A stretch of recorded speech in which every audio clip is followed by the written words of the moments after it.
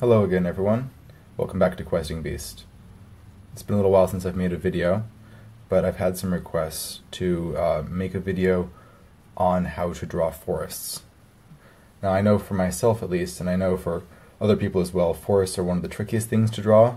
It's, it's difficult to get them to look right. They often look um, smudgy or amateurish. They often don't fit in with the rest of our um, the rest of the aesthetic of the map that we're building. It can be a problem. They can look too spread out. They can not look dense enough. They can look too big or too small. So I'm going to show a couple different ways that I've seen uh, people draw maps, um, especially uh, forests on maps specifically. And uh, you can choose one that you think works for you. I'll show you my favorite as well. So I'll give you some examples. So one example is simply to draw um, each individual tree, right? I've seen some people do this, and uh, depending on the kind of map you're doing, this can work or it might not work.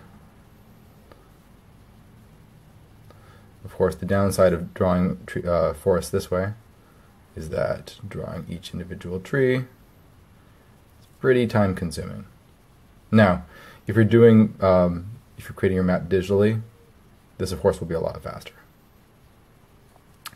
Um, you can do it. It creates its own unique effect.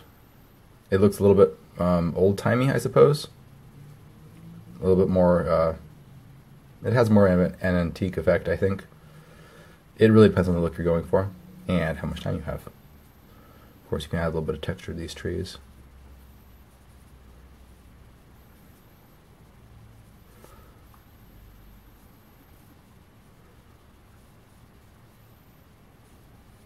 Etc. You get the idea. So you can draw a forest that way, but it'll just take you a while.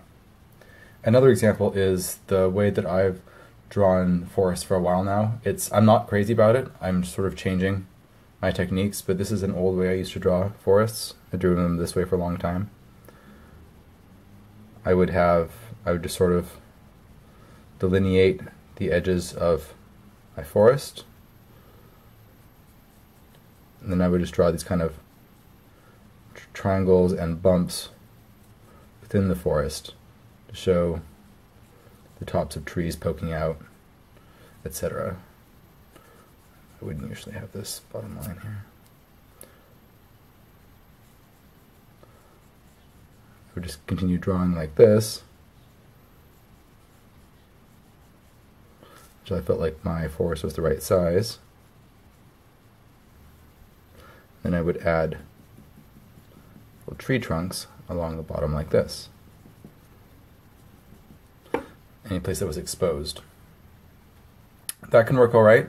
It doesn't look fantastic to me. It looks a little bit more like a forest. It's a little bit faster, but it's, I don't know. I'm not crazy about it. Um, this also makes the boundaries of your forest a little bit suspect where exactly does it start and end. Um, it's not as precise. It depends on the, the precision that you want in your map and the kind of map that you're making. So here's another example. Um, I've seen some people, instead of drawing their forests very close together like this, instead they spread them out a bit. So they still draw individual trees, but they simply spread them out. And they vary the kind of tree they're drawing. So you got like these sort of round trees, got shorter pine trees. You got like these large sort of oak trees.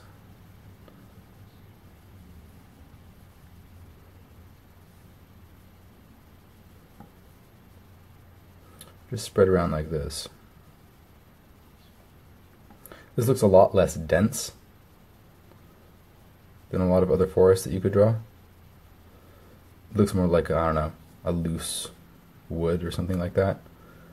You can, of course, use this to draw a large, dense forest, uh, but it'll just give the impression of the trees being farther apart.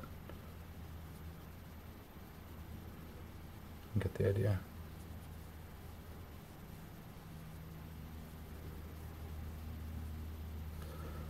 So it depends on the, the look that you're going for. Another way I've seen people draw um, forests is that you, you're looking straight down and they kind of draw the tops of the forest. They draw circles like so.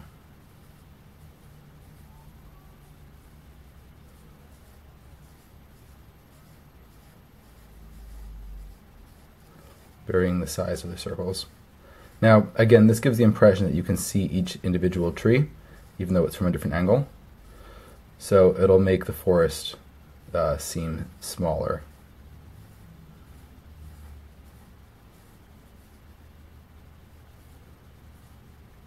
You can do that if you want. Um, it doesn't have a great effect to me. It look like maybe stones or mushrooms, so I'm not crazy about that effect either. Um, another way, and this is a way that I prefer, is if you simply delineate the edges of your forest using kind of a rough, bumpy look.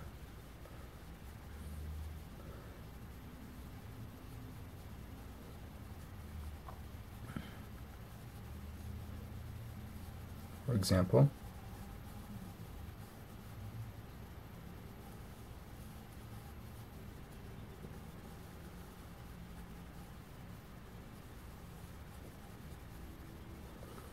like that. Now you can simply leave it like that. Um, that reads pretty well as a forest to me because of the sort of bushy exterior. And you can simply name it, you know.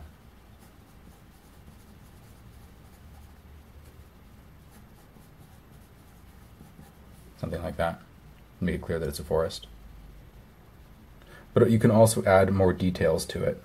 So for example, draw another one over here.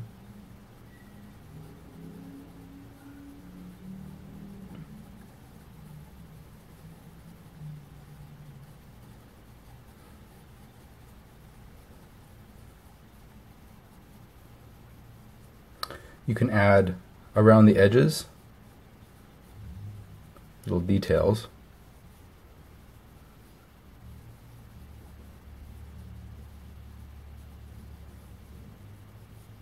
that indicate more of the leafiness of the forest. I think that has a nice effect. You can do other things as well you can do things like adding some shading. If the sun is shining from this direction so it leaves kind of a shadow on the side of the forest. Add some shading on the trees as well.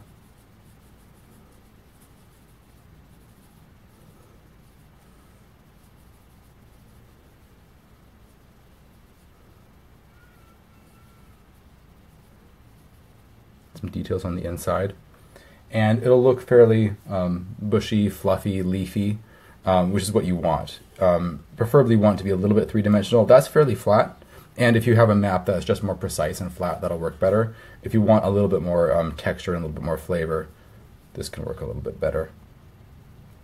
Make sure to make the exterior of it pretty dark, though.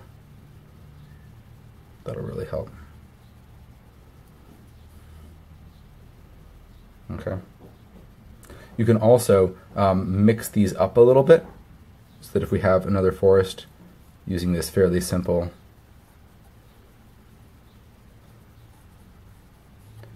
just outline structure.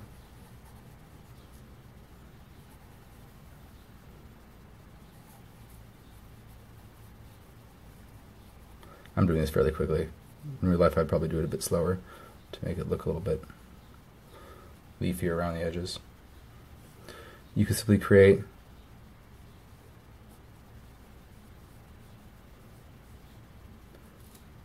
Little indications of especially tall trees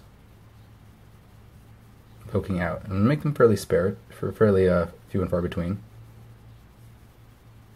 Not too many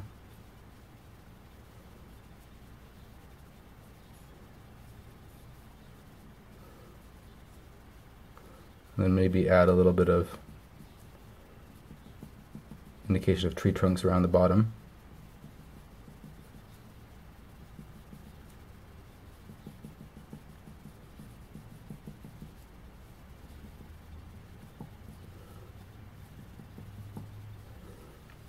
That can work all right too. One last way is a bit of a variation on this one. And again, you're trying to show each individual tree, but instead of drawing circles, which end up looking a little bit strange, just make them a bit fluffier. So you're adding these little layers or overlapping tree shapes as shown from above. And this can look a lot better. But again, it'll make your forest look um, smaller. It'll look like you're zoomed in farther because you can see each individual tree like this. That can work too. Suppose if you're making a map of a village or something like that, then you may want an effect like this.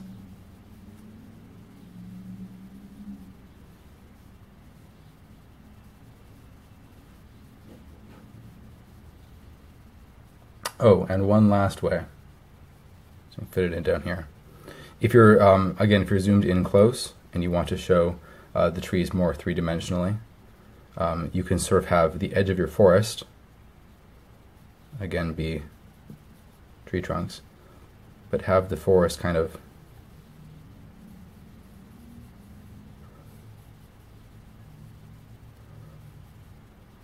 slope up into higher and higher trees.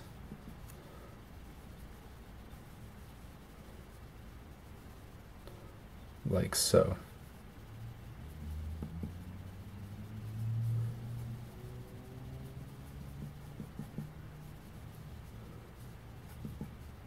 So you have like a meadow out here, and then you have like these tree trunks, and then you have these large bushy shapes sloping up and and uh, higher and away as the trees rise.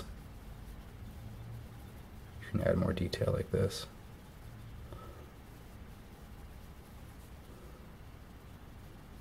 Add a bit of shadow coming down away from the forest. So this area would be the forest. You can always add more detail, you can add more texture. more shading to these large shapes that are moving up, up, and away.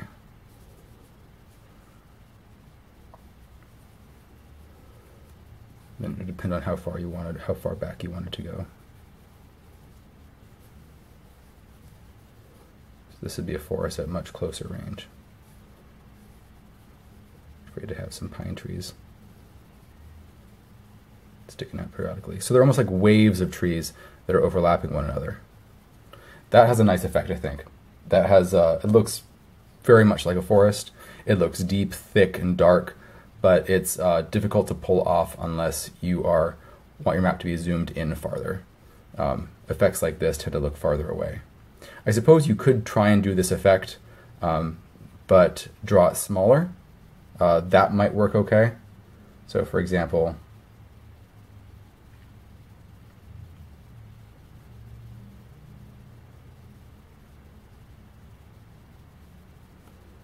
something like this. Like these mounds and shapes representing the main tree lines.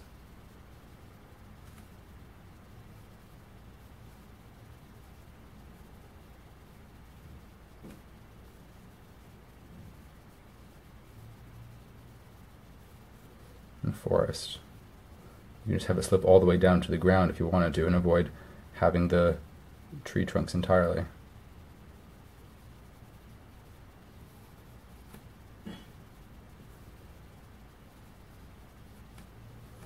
It's harder to delineate the exact edge of the forest this way. It's a little bit um, a little bit fuzzier. You simply have something like that be a forest. That could work too, depending on the look that you're going for. You can always add more definition by adding tree trunks.